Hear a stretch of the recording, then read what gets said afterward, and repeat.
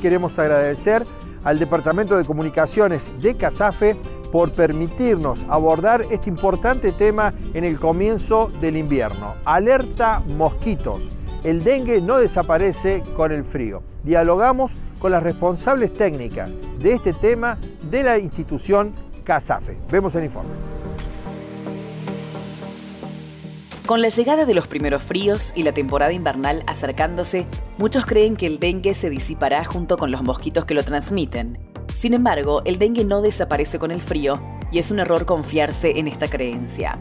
Si bien el mosquito adulto Aedes aegypti, responsable de la transmisión del virus, no vuela a temperaturas inferiores a los 8 grados centígrados, puede sobrevivir dentro de las casas.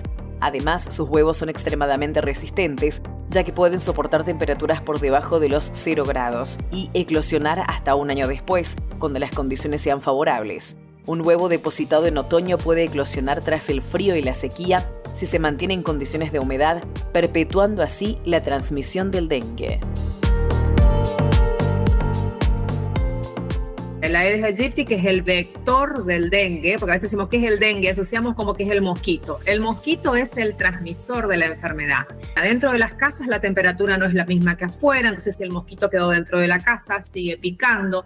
El mosquito que puso huevo, el huevo quedó, si las temperaturas están muy bajas, no eclosiona, pero una vez que se dan nuevamente las temperaturas y condiciones de humedad, ese huevo va a eclosionar y va a seguir el ciclo de vida del mosquito. Cortar como cortar no va a cortar, lo que va a pasar es que va a disminuir la población del adulto, el que vemos volando, vamos, o sea, nos pasa siempre, sobre todo a nosotros, a los del norte, que tenemos estas situaciones de condiciones de temperatura y humedad que en verano no podemos vivir con los, de la cantidad de mosquitos que hay. O sea, abrimos la boca y nos entran mosquitos, eso nos pasa. Lo que baja es la población del insecto adulto, del volador, dejamos de verlos, pero no quiere decir que desaparecen, no quiere decir que mueren, que, que que nos olvidemos del dengue. Eso es lo que tenemos que, tener bien claro. No ver el mosquito no significa que el dengue desaparece. La principal medida que tenemos que tener presente es que tenemos que tratar de evitar que dentro de nuestras casas o dentro de nuestro ambiente, patio, eh, vereda, existan lugares en donde las mosquitas hembras o los mosquitos hembras puedan poner huevos. Entonces no tiene que haber lugar con agua libre. O sea, por ejemplo, adentro de las casas las macetas que habitualmente tienen un platito para recoger el agua que excede, ese agua que excede, ni bien terminamos de regar y terminó de escurrir la maceta, lo que tenemos que hacer es retirar el agua, lavar bien el plato, refregando. ¿Por qué? Porque por ahí en ese ratito entre que el agua escurrió, ya tuvimos la posibilidad de que una mosquita, un, un mosquito hembra, ponga huevos en la orilla entre el, agua y el borde del plato. Entonces, si nosotros frotamos, lo que hacemos es si hubo algún tipo de deposición de huevo, asegurarnos de que eso ya no esté. Es fundamental que mantengamos el agua de la pileta como si estuviéramos en estación de, de uso de la pileta. ¿Para qué? Para que el agua de la pileta esté oxigenada, el agua de la pileta además esté con buen contenido de cloro para evitar la proliferación o el desarrollo de las larvas de mosquito y además complementar esto con una buena cepillada de todo lo que son los bordes de la pileta. Por esto mismo que hablábamos recién, la mosquita hembra no pone los huevos en el agua, sino que los pone en el borde donde está en contacto entre el agua y la parte seca. También hay como un mito ahí, ¿no? Que en el, el dengue se desarrolla o hay mayor incidencia urbana y no en la rural.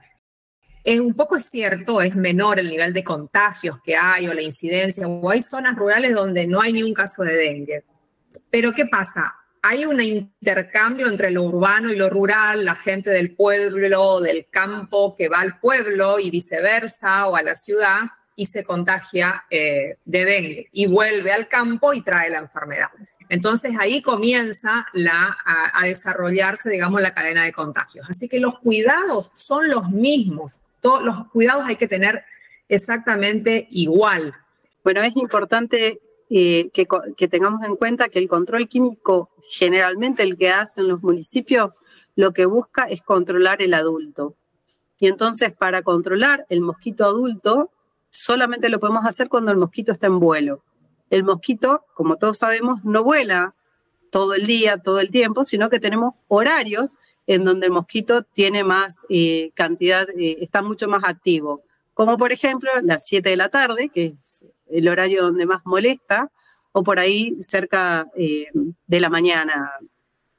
Entonces es importante que los controles químicos se hagan en esos horarios.